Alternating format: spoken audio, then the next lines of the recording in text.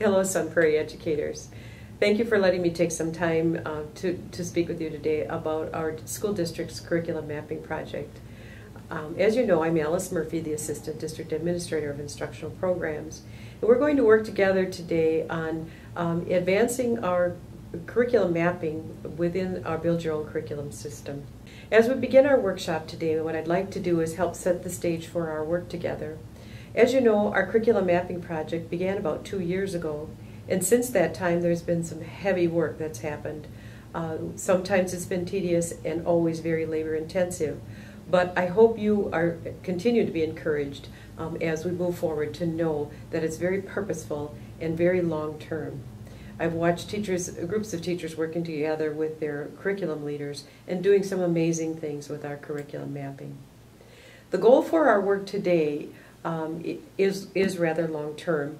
Um, and although it has a, a, a foreseeable end in sight, our, as you know, curriculum mapping is a dynamic project that never really stops. So together we want to agree that by June of 2013, we hope to have 75% of the courses that are offered currently in grades 6 through 12 and all of the courses that are offered in K-12 art, health, music, and physical education developed in the Build Your Own Curriculum system with a curriculum map. What I mean when I say the courses would be developed, I mean that the course itself is entered to include a course overview, the units of instruction with the duration of each unit, the topics that will be taught, a list of academic vocabulary, the assessment types must be identified, and then, very critical, any common assessments that have already been developed need to be linked carefully to the course. Let me review with you for just a minute the purpose of curriculum map, mapping by, by just giving it a little more definition. And I know we've been working together on this for a long time, so you have a, a very fundamental understanding of it, in fact, uh, a great deal of, of understanding in some cases. But the purpose of curriculum mapping, as we've defined it in our district, is that we know it to be very different from any other form of curriculum development. What a digital curriculum map will allow us to do is to reveal to each other the, the, our actual professional practice. We're able to share digitally with one another um, what we're doing in the teaching and learning process, especially those who support our work. Other teachers in our department, other teachers at our grade level, other teachers and assistants that support our teaching and learning, and the resources that we're allowed to share. We also can share our curriculum mapping then and all of our course ideas with other school districts in our state who also are on the Build Your Own Curriculum system, as well as our counterparts in other states of the nation. I know some of you have already uh, explored what other districts and other states are doing with their curriculum mapping, and that's served to us to our advantage as we're able to share back and forth good ideas for reinforcing our teaching and learning. With a curriculum map, we're able to learn from others. It's very immediate because our work is there in front of each of us, and it's very authentic. It, it explains exactly what we are doing, proposed to do, uh, to increase the learning for our students. A good cur curriculum mapping project starts with the standards so that we all agree from the places where we are starting as we design our units of instruction um, around those standards. A curriculum map also provides for us very clear and linear scope and sequence for our work. For instance, with science, K-5 teachers can really share their, their, their work, their units of instruction, the sequence of the learning for elementary students with the teachers of grades 6, 7, 8, 9, and all the way through high school. It also helps those elementary teachers then to understand where their students need to be as high school learners to get ready for their graduation and their college and career uh, beyond our own public school setting. So I know you understand the, the very solid purpose of good curriculum mapping. It also helps us to standardize our teaching, and that's something we hold as a very high value in the Sun Prairie Area School District. We believe that we need to start very clearly from standards. In the past, our Wisconsin model academic standards are now converting to Common Core in literacy and mathematics, and soon we'll have the new generation science standards. All of this directs the kind of work that, that we uh, use as we design our uh, explicit instruction in our courses. So from the standards then we create course outlines, again units, resources, We prepare for differentiated types of learning and share those ideas with one another, and then create common assessments. All of this happens, uh, this work happens even before we put um, any of the digital entries into our curriculum map. Uh, but it helps us to standardize what it is we're doing in all of our classrooms throughout our district. I believe that improved instruction, and I know you do too, is intentional, it's not incidental. And what I mean by that is that we are, we are intentionally taking steps forward to improve our professional practice. In many ways, it's like a medical, medical model now where we are documenting, very clearly documenting what it is we intend to teach because it gives us a chance to analyze what we are, are putting in place and then take prescriptive action to make improvements as we can uh, work with our colleagues to bring the best possible ideas to the, the, the, delivery of our instruction. It also allows us to utilize data because it gives us a very clear place to enter the data and to share it with one another as we make decisions about what and how we are teaching. It, we can form uh, professional learning com communities and collaborate around the data that is very much present within our curriculum map. And then it, by that means it helps us to improve every aspect of each and every course that, that we are preparing. One of the real purposes for our works, uh, our intense work right now on our curriculum map is because we are getting prepared to become very effective educators. As we study the framework for teaching as uh, designed by Charlotte Danielson, and look at the domains um, of teaching and learning, uh, we are very clear about the fact that domain one that helps us to become experts at planning and preparation of our instruction very much anticipates a curriculum map. This last summer, I know I shared with you, I had the opportunity to uh, be at a workshop with Charlotte Danielson as she helped to, us to understand how good curriculum mapping for 21st century learners uh, really helps us to deliver it according to uh, her the domains and the uh, framework for teaching that she has designed. So let's take a minute now um, and just look clearly at the framework for teaching uh, that Charlotte Danielson provides for us and look at the planning and preparation uh, components that she has um, outlined in this domain. The demonstration of knowledge and, and of content and pedagogy are included as we are creating our curriculum map, demonstrating the knowledge of students, Setting the instructional objectives clearly happens in our units and topics, demonstrating the knowledge of resources, designing coherent instruction, and designing the student achievement um, aspects to include assessment is all part of domain one. As we work together to create our curriculum map, that's very clearly the focus of our, our planning um, together.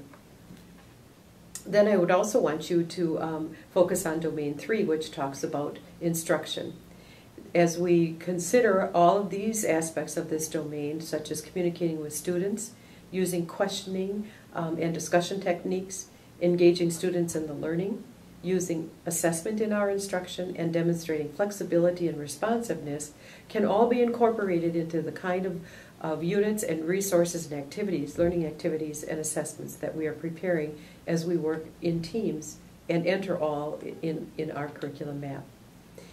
So, all that being said, it's time to stop and say where are we now with uh, curriculum mapping and what have we already achieved in terms of creating our Build Your Own curriculum.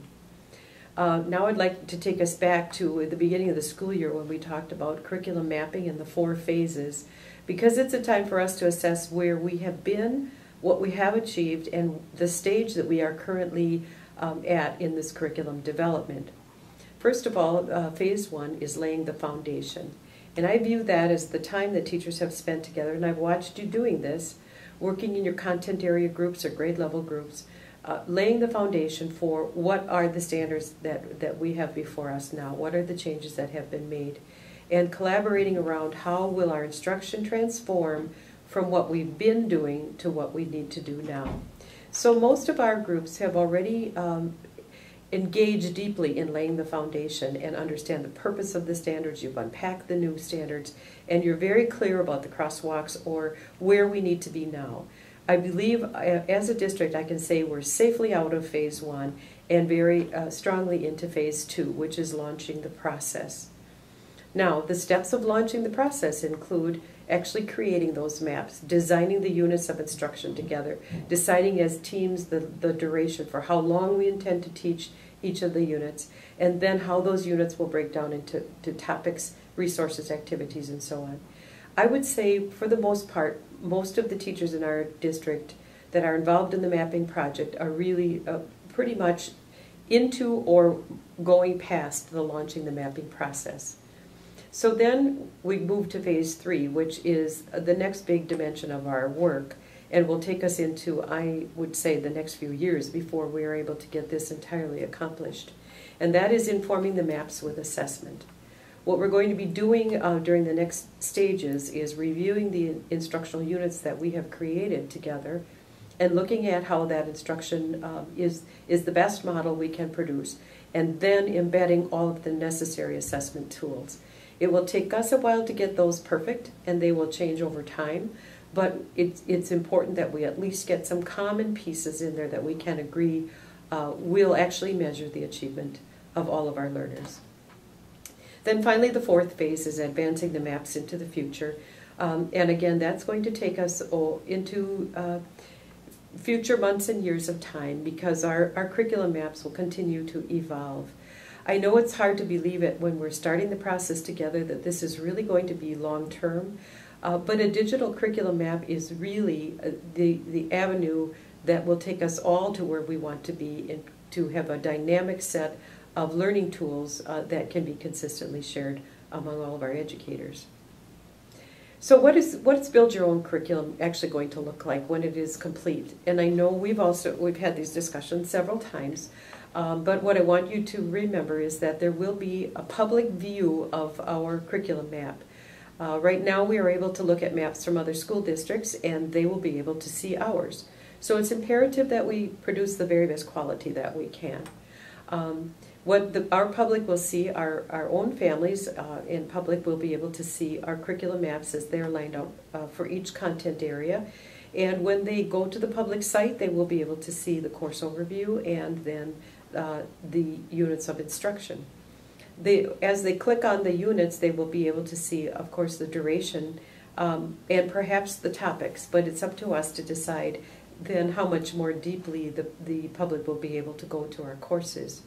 I can tell you that there's a lot of anticipation um, in our community already, waiting for this doc these documents to be available to our parents and students in particular. So we're anxiously waiting the day that we'll be able to publish at least most of them to the public site.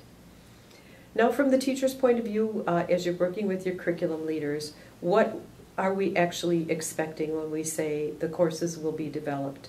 And you can uh, roam around in BYOC, I know you've done that already, to take a look at what do really quality courses look like in the system. Uh, what I'm showing you now is the English 9 um, selection of, of uh, courses and we'll be able to select one and see that in Exploring English you can see there that the, the credits are listed, the course duration. There's a nice course overview that would give anyone a good broad idea of what the course will offer to students. Then there's a selection of the units, and again, all of those are listed with the duration of time that the teacher intends to use to teach them. As you click on each of the units, then you'll see the learning topics broken down, also with a bit of a description, and then also the duration for the days of instruction. We could continue to roll through this course and you would see academic vocabulary, learning resources, and assessment documents already embedded. This is a very high quality course that I view as a model for the rest of us as we um, begin to develop um, the rest of the courses that will be entered. Another really fine example that I'm showing you here is the eighth grade health course. Good course overview, uh, lots of units, the duration is there. The teachers are already teaching using this instrument um, to keep them uh, moving along in a very common way uh, with all of their eighth graders. The topics are listed there with also um, a duration and days of instruction. You can get to the topics, break down uh, more deeply, get more description, and also the knowledge and skills associated with each of those um, learning topics.